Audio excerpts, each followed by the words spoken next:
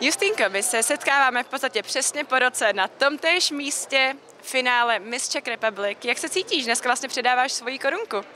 Je to tak, jsem teď trošku nervózní, protože budu mít loučící se speech, ale jsem smutná. Jsem smutná, že se musím s tím čím rozloučit, ale zároveň jsem plná očekávání, kdo bude moje nástupkyně a jak si povede, ale jsem už teď na všechny slečny hrozně moc pišná. Viděla jsem generálku, byla jsem vlastně dopoledne ještě na Miss Grand Czech Republic a bylo to krásný, všechny jsou strašně moc šikovný.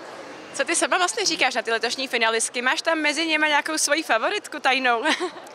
Tyjo, já si právě myslím, že letošní ročník je takový, že všechny slečny jsou tak strašně dobré, že jsou vlastně úplně na stejné úrovni všechny, takže nedokážu říct, že mám nějakou svoji jednu favoritku.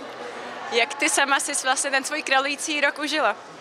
Neskutečně, byla to fakt jízda, poznala jsem spoustu lidí, udělala jsem si spoustu nových přátel, spoustu zkušeností a všeho možného samozřejmě i hodně výzev, které jsem musela překonat, ale, ale zvládli jsme to, doufám, že jsem to všechno zvládla se ctí teda, že je Táňa na mě pišná a celá Miss Czech Republic taky, ale bylo to skvělé. Dala bych se to celý znovu.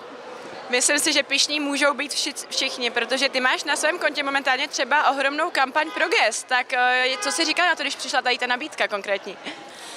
Byla jsem No, v šoku.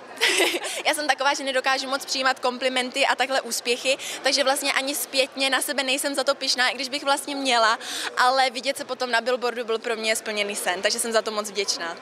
Čem se ti vlastně úplně nejvíc změnil ten život oproti tomu, než si se vůbec přihlásila do MIS a jak je to nyní? Ty asi v tom veřejném vystupování určitě.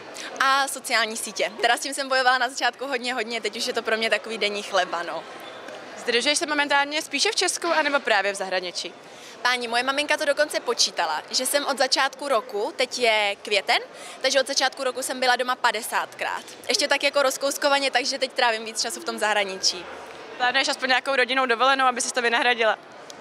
No uvidíme, uvidíme, co přinese léto. Ještě teď mě pra- právě čeká ta světová soutěž Miss Supranational, která mi zabere červen a začátek července a uvidíme, jak to dopadne tam. Ty vlastně v době své účasti mi si byla zadaná, momentálně jsi nezadaná, nebo jak to je? Změnilo se to něco?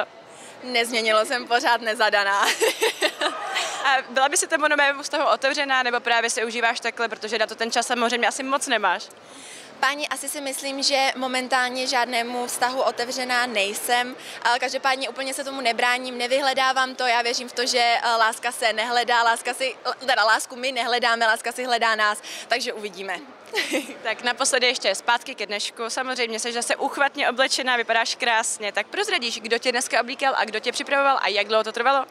Moc krát děkuju. Uh, takže šaty mám z Tajska až. Přiletěla vlastně Lenka, která nám pomáhá v Miss Czech Republic, tak mi přivezla tyhle ty nádherné šaty, takže ty jsou z GL.